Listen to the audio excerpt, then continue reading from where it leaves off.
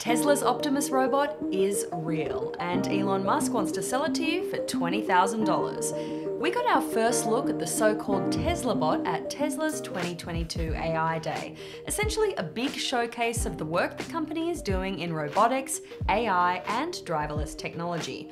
Among all the talk of AI, Optimus was the highlight of the show. But we didn't just get one robot, we actually saw two. The first reveal was an early development prototype that actually walked itself out on stage and waved. Then we got a second robot, the latest generation that Elon Musk wants to take into production. Tesla was selling a big vision robots working in our world, doing jobs, and even having their own personalities. But how long till we get that future? And more importantly, will you be able to buy an Optimus robot, or is this just really cool looking vaporware? Let's break it down.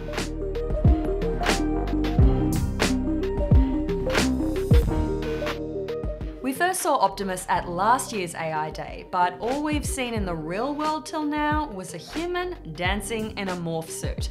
But at this year's AI Day, we got a lot more, starting with that first reveal. Compared to the slick renders we've seen before, this robot looked a little more steampunk, with exposed wires and actuators, and a back that looked kind of unfinished. But according to Tesla, this early model was finished within six months of last year's AI Day. It was built with off the shelf parts, and this was the first time it had walked in the real world, without any tethers or cables. Oh, and because this was an Elon Musk event, it did some dancing too. But Tesla didn't stop there, and that brings us to robot number two.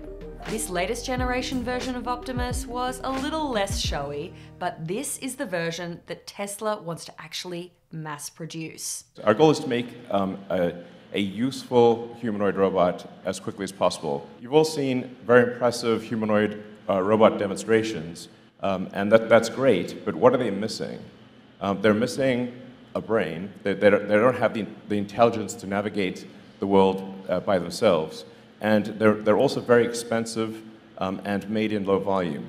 Um, whereas uh, this, this is, Optimus is designed to be an extremely capable robot, but made in, in very high volume, probably ultimately millions of units, um, and it, it, it is expected to cost much less than a car.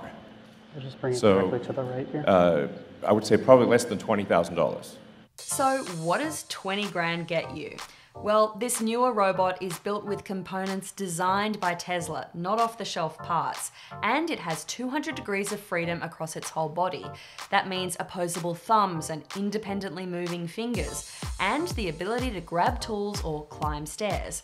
It weighs 73 kilos, and it has Wi Fi. Nice. Optimus 2.0 had to be wheeled on stage, but Musk says it should be walking in a few weeks. So while the on-stage demos were limited, we did get to see some pre-recorded videos of the robot working in the real world. Optimus lifting boxes, watering plants, and even working in one of Tesla's factories.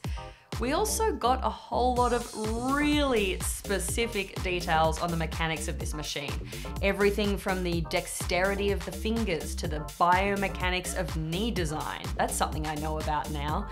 Before this event, Musk said AI Day would be highly technical and he was not lying.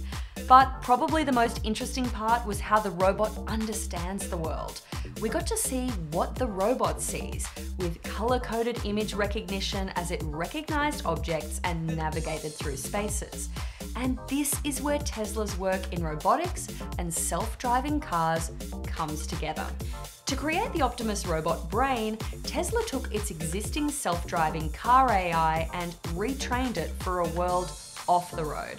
So instead of detecting nearby cars or pedestrians, this robot is trained to detect things like factory parts or humans in the real world.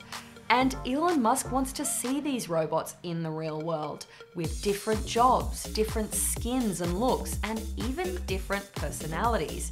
But when will we see it in the real world?